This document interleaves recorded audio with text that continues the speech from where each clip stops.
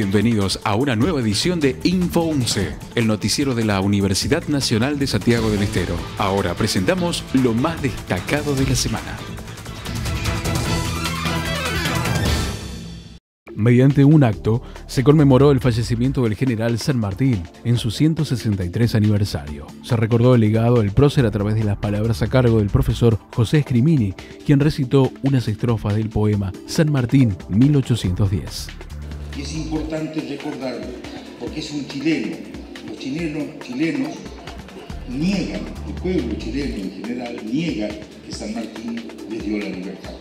Neruda le dice así, eres San Martín, la tierra que nos diste, un ramo de cedrón que golpea con su aroma, que no sabemos de dónde viene su olor de patria a las praderas.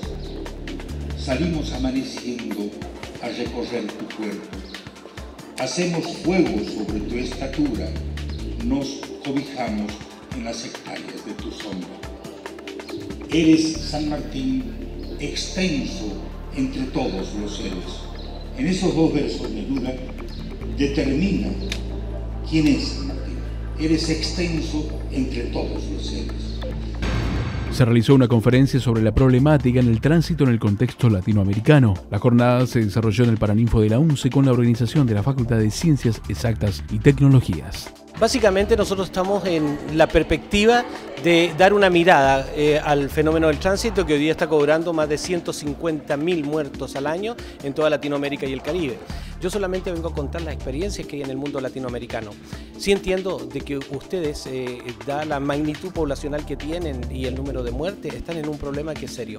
El 30% de los accidentes obedece al problema de vías, entre el 5% aproximadamente al problema de los vehículos pero el 65% restante es una cosa muy simple, la imprudencia de los conductores.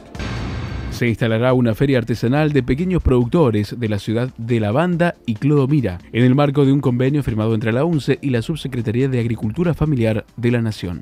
Eh, tenemos el ofrecimiento de la rectora de la universidad desde el año pasado para que los agricultores familiares de la región Banda Jiménez, que es la que trabajo yo con un equipo técnico, de siete personas eh, puedan venir a, mostrar lo que hacen, a vender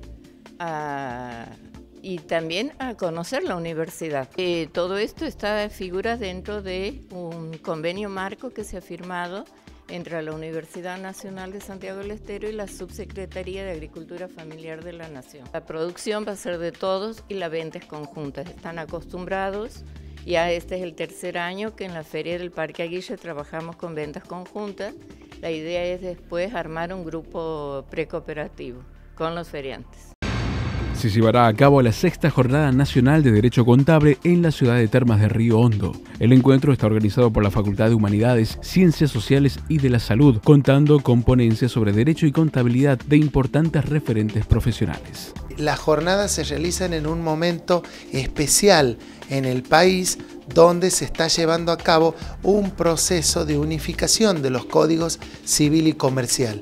La temática del derecho contable abarca una zona eh, fronteriza entre las disciplinas de los profesionales en ciencias económicas, contadores públicos y licenciados, y también de los profesionales en las ciencias jurídicas. Para nosotros los santiagueños un orgullo que se realicen estas jornadas en nuestra universidad, específicamente en la facultad, que es un ámbito propicio porque en esta facultad cobija a dos carreras de las ciencias económicas, que es la licenciatura en administración y la carrera de contador público. Vamos a contar con la participación nacional e internacional de destacados eh, juristas y académicos en las disciplinas que nos toca, como la presencia de los doctores eh, Eduardo Fabier Dubois, padre e hijo, el doctor Efraín Hugo Richard y tantos otros como el doctor eh, Veiga, los doctores Marco Tulio y demás del ambiente regional, nacional e internacional.